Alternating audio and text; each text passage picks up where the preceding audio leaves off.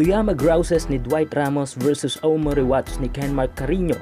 Nagoya Diamond Dolphins ni Parks versus Earth Friends Tokyo Z ni 1 GDL sa Japan Emperor's Cup. Dwight Ramos sa 3 Parks binasag ang depensa sa ilalim ng kanika nilang mga kalabang kupunan. Yan ang ating mga pag-uusapan para sa video natin na ito.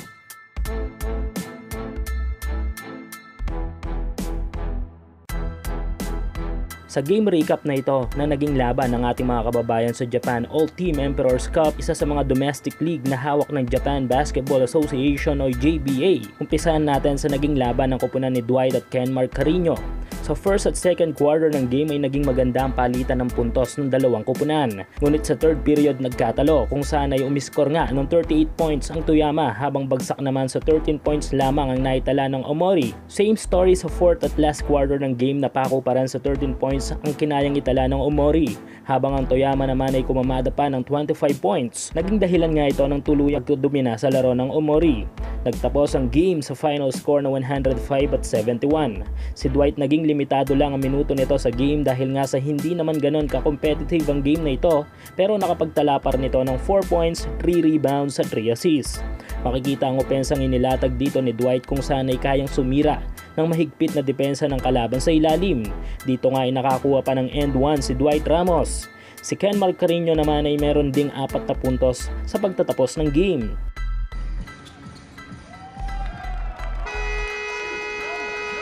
Dumako naman tayo dito sa naging laban ng kupunan ni Ray Parks na Nagoya at ang kupunan ni 1 GDL na Earth Friends Tokyo Z.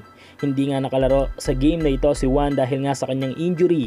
Sa first quarter ng laro ay mabigat na opensa kaagad ang pinakawalan ng Nagoya. Dahilan upang matapos nila ang first period na may 14 puntos na kalamangan.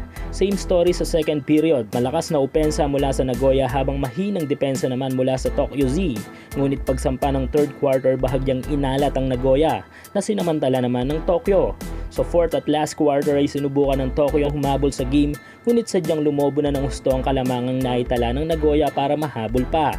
Kung kaya't magtatapos ang game sa final score na 93-58, tambak ng 35 points ang kupunan ni Juan tulad ni Dwight, limitado man ang mga naging minuto ni Park sa game ay nakapagtala pa rin ng maganda-gandang mga figures. 6 points, 3 rebounds, 4 assists, 2 steals. Makikita dito ang pagbasag din ni Parks sa depensa ng mga big man import ng Tokyo Z sa ilalim at na-notice din natin ang mga magagandang assist nito sa game.